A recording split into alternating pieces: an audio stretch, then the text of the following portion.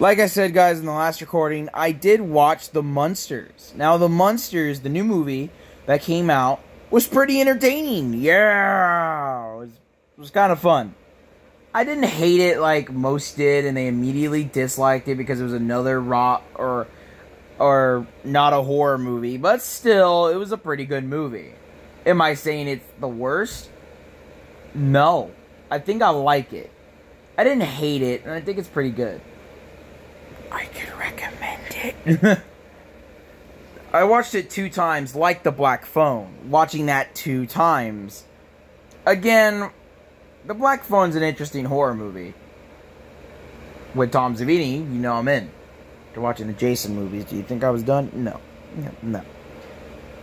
Well, it's pretty fun. It's not a bad movie. I mean, it's a kids movie, so what did you expect at that point? But The Munsters was pretty fun.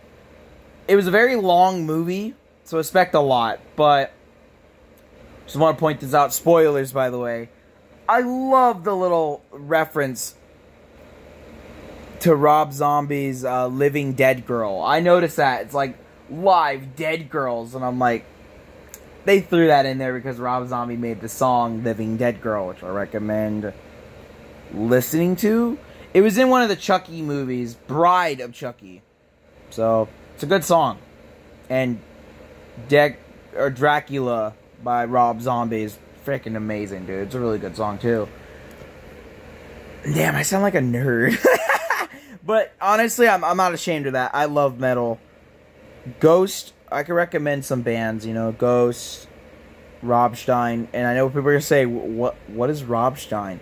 It's a German metal band. System of a Down was a good one too. Slayer, Metallica, Iron Maiden. I didn't name every band because I don't know a lot of bands, but I know the ones that come top of my mind that are really good. Uh, Jericho, Chris Jericho's band, Fozzy. No, I don't think that's what it's called. But Judas, yeah, the song Judas is really good. Um, Cody Rhodes' song Kingdom. I know that isn't really metal. Rammstein, a couple songs I can recommend is uh, Du hast mich and We Live in America. Okay, enough of talking about metal. Big fan guess. I love I love Ghost. I, honestly, Ghost. I think one of my favorite songs of theirs is Square Hammer. Ghost is freaking awesome. Slayer is dope too. Slayer is freaking awesome. The music, Iron Maiden, "Hallowed by His Name" is good. Um, Metallica, I can recommend three songs of theirs. Um, Enter Sandman, Enter Sandman, For Whom the Bell Tolls. I hope I can name this one, but Enter Sandman. And Master of Puppets. I know people say, wow, he knows his metal. I don't listen to a, a lot of the other Metallica songs, but I really need to. Square Hammer is my favorite out of the Ghost songs. I like the other ones too, but mainly Ghost. Square Hammer was my favorite. Rammstein, I do like Du hast mich and Living in America. I love it.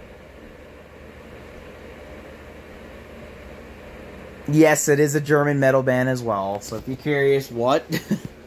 Besides that point, The Munsters was pretty fun. I like the movie for what it's worth. It's a kids movie, and I got a good time out of it. I know what you're gonna say. Well, you are a kid, so technically you're gonna enjoy it. I'm not saying it doesn't have problems, but again, people were way too harsh on it.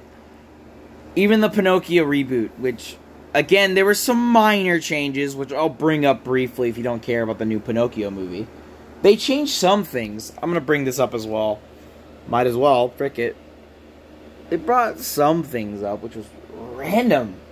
They ended up in the original. If you've seen the 1941 classic, Pinocchio smokes a cigar in the original movie. But in this one, he doesn't smoke a single cigar. The whale is different. It's like an octopus whale freaking hybrid. What? Very weird. And they also changed another thing that I also noticed. They did change it.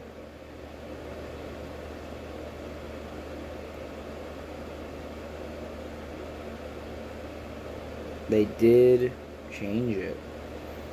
In the original, uh, Pinocchio drank beer, uh, but they changed it to root beer. Okay, you know that you know that's fine, but it's random change. I just wanted to bring it up for the hell of it because I saw that movie. Disney's not gonna care. But besides that point, The Munsters, I could recommend it as it's just a movie you could put on for Halloween since it does represent the spooky season. Represents the spooky season in a very good way.